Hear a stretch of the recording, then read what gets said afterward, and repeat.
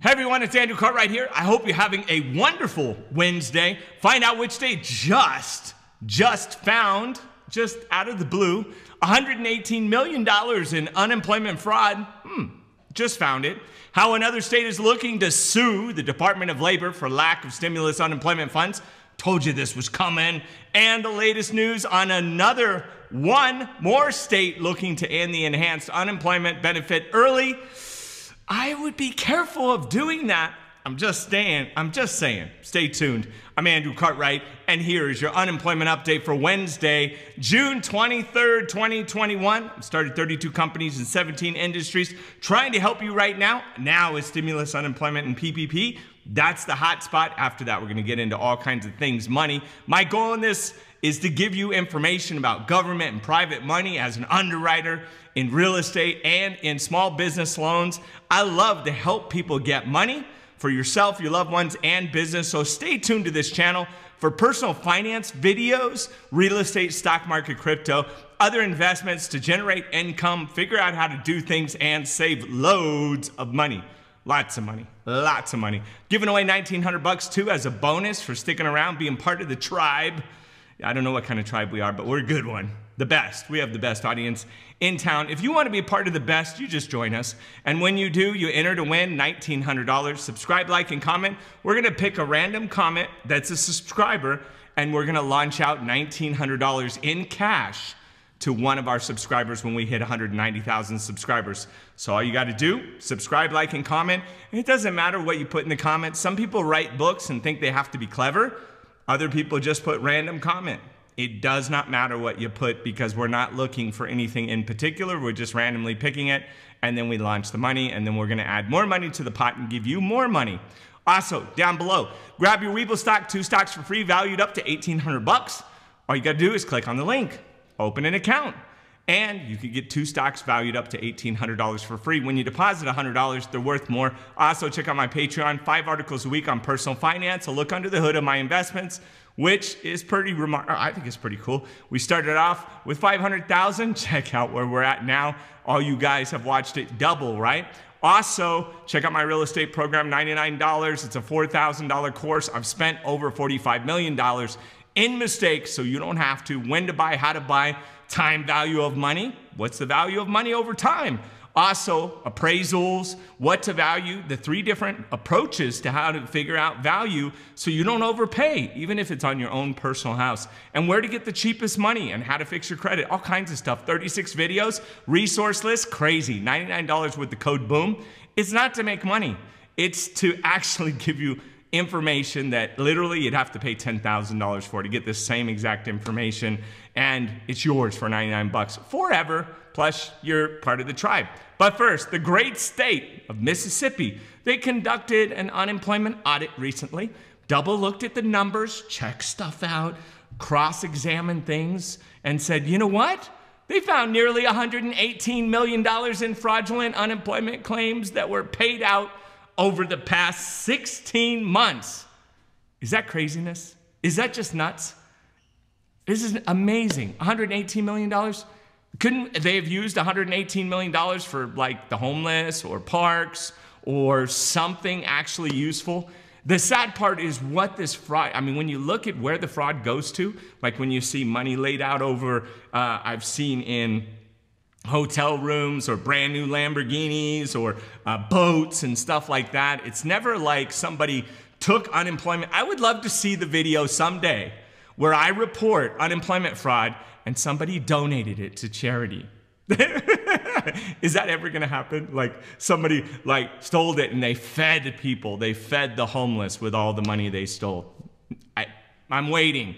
If you did, please let me know. I'll do a video on it. According to a new report from the state auditor's office, quote, some of the payments were cased of stolen identity and international fraud schemes. Some payments went to people who had never lost their job and people who were literally, quite frankly, behind bars. They were in jail. Yes, inmates. They never cross examined like California. We covered that.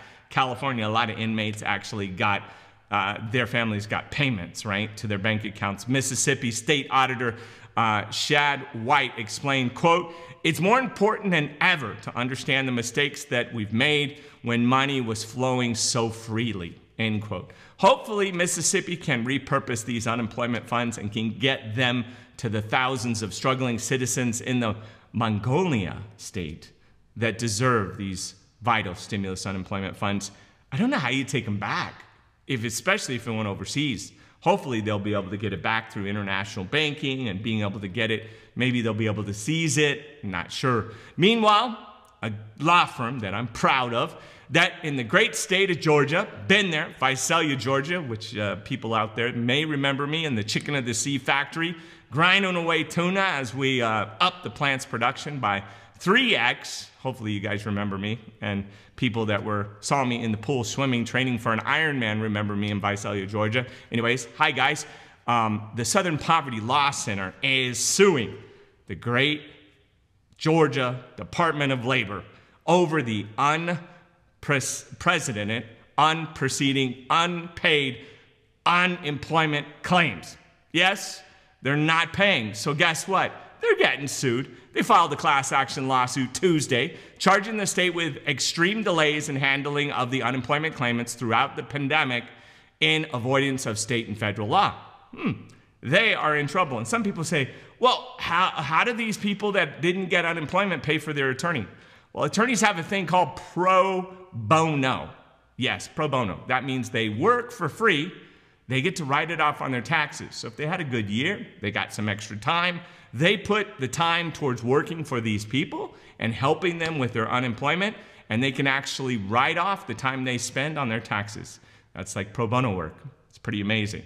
A lot of attorneys do it. So I hope other states, and uh, especially ones that are cut off from the federal unemployment, take action and move forward to help out so many people that are not collecting unemployment. Emily Early from the Economic Justice Project explains, quote, the pandemic created the largest unemployment crisis in generations.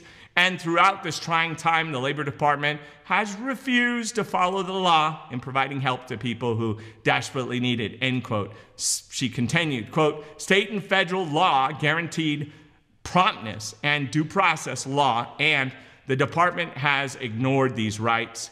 This catastrophe cannot continue, end quote. It's not just Georgia.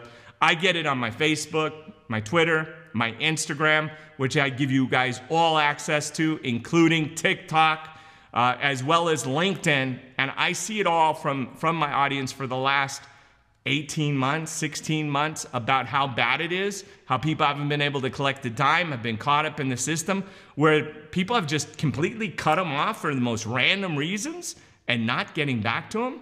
I, it's no wonder more states have not been sued.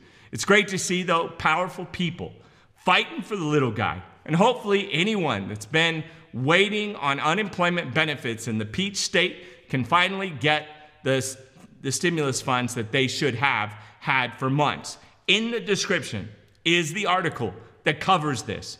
Make sure, if you're in Georgia, that you check out this firm. If you've had the problem, uh, talk to the firm because it's a class action suit. Get involved and get on the suit so that you can get your help too. Because Somebody's already started the process. Get on that train, get on that bus. So you don't, you don't have to be the bus driver. You can just sit, sit in the back, hang out, go for the ride, and then you can get your stuff fixed because somebody started the process. They're leading the show. Finally, it looks like a new state is in line to become the 27th state to end their participation in the extended enhanced unemployment benefit.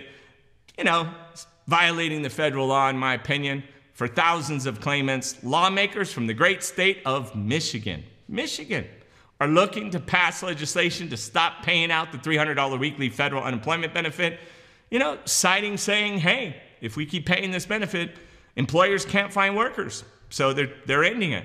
Before the current September 6th deadline, which was set by the feds, uh, federal government, both Senate and House, Fortunately, some politicians are still fighting for these vital unemployment benefits, like State Representative Yousef Rabhi, which you have to look in the article below to see if I pronounced it correctly, who stated, quote, this is different between having a roof over your head and heading towards eviction. He continued, quote, when it comes to $300 in your pocket or residents to pay for their own groceries and their diapers and their rent, we're going to be callous, harmless, and taking the money from them. So this is, this is horrible. It's absolutely horrible. I completely agree and hope that Michigan, as well as other 26 states that decided to just do this, I, I, call for stricter guidelines about how you, you know, verify that you're looking for work, that you don't let people sit on the couch. Maybe you check to see if they've bought, you know, uh, Doritos, you know, have a Dorito standard. If they're buying Doritos, chips, and Coke, maybe you know you're sitting on the couch. I don't know. Look at their chip count.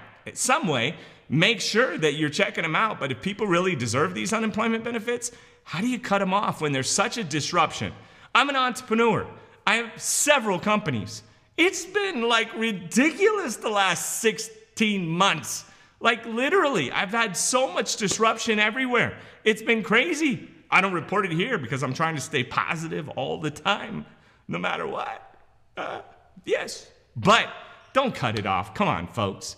Ending unemployment benefits is just, just irresponsible. I hope it'll change their minds. Maybe they'll watch one of my videos and realize that, hey, just make stricter guidelines. Get better at your job. That's all. Don't quit it. Just ask to get better. Say, God, help me get better. Don't cut it off, right? please. If you still haven't applied for unemployment assistance, get over the hump, apply today. Check out your PUA and UI website before they come up with some crazy law where they, oh, if you didn't get it, you can't get it. You still can. You can apply for your PA or your UI, which is the unemployment insurance or the PUA. A lot of times they're two separate websites. Give them your employment history. Do not say you were employed if you weren't. If you had a side hustle, you want to say that, not that you were employed over identify yourself. Make sure you send a clear picture, otherwise, you'll get caught up in the bureaucracy. Be honest, though, and truthful. Answer the questions. If it disqualifies yourself, so what? You're disqualified. You don't get it. It's no big deal.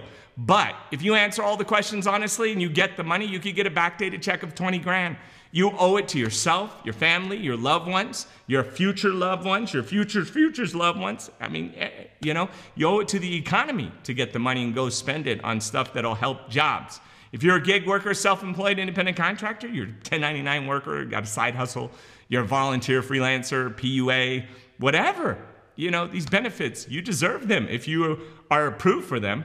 Keep sharing your experience with the PUA and your unemployment benefits in the state in your state, no matter how painful it is. I know it's not fun to talk about how upsetting it is. Believe me, when I read some of your comments, I want to punch a wall. Unfortunately, my skills, sheetrock, patchwork skills have diminished over time. So it takes me a lot longer to fix the holes I punch in the wall. So when you put those comments, I try not to punch holes in the wall, but boy, I want to because it frustrates me to see you guys not being taken care of. I love you more than you could possibly know. Thank you so much for watching. I appreciate more than you could ever, ever know. Thank you so much. Love you.